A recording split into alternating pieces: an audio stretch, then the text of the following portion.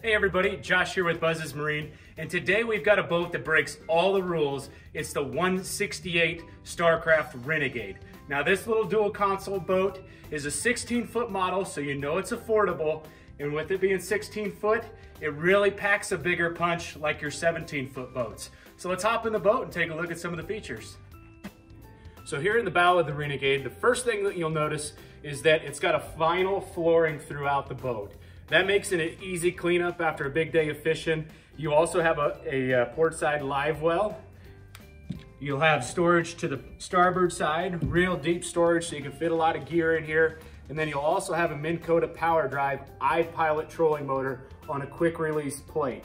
So it's easy to take on and off the boat and that iPilot technology is really gonna help you. It's got a remote control and it's gonna help you stay on top of the fish for a great day of fishing.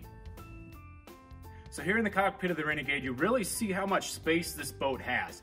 It's got an 89 inch beam, which is a really wide boat for this size.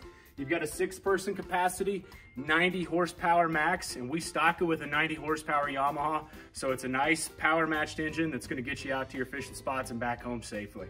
Um, here at the helm, you've got tilt wheel steering, and the captain's chair is also on a slider.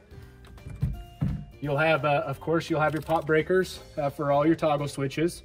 Um, your nice chrome bezel gauges for your tach, your speedo, your fuel gauge, and your battery meter. And then, of course, your Humminbird Helix 7 mega down imaging on a ram mount.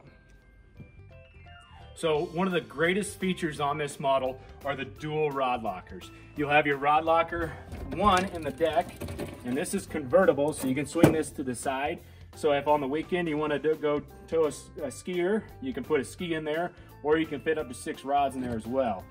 It is lockable storage as well, so if you leave your boat on the dock or the shore station, you can lock up your uh, rods as well. So your second rod locker, center line in the deck, and you've got another six storage capacity here. And again, all lockable rod storage on this boat. You've got a deep, deep glove box so you can fit a lot of tackle and gear in there, your iPilot controls for your trolling motor. And then again, on the port side, you've got more lockable storage. So you can fit more rods in here or your tackle, your buoys, bumpers, markers, whatever gear you have. The other really nice feature on this boat, the dual live wells, and you've got the great big rear live well with the bait bucket. You can fit a ton of fish in here.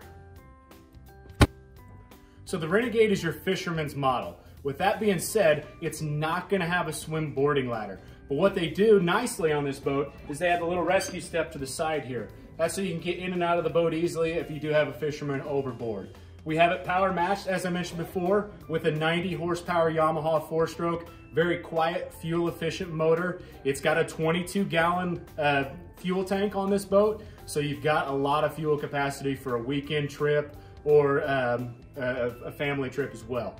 So thanks for checking out our video today of the 168 Starcraft Renegade. We've got multiple of these boats in stock. Come down to our showroom, 507 South Central Kearney.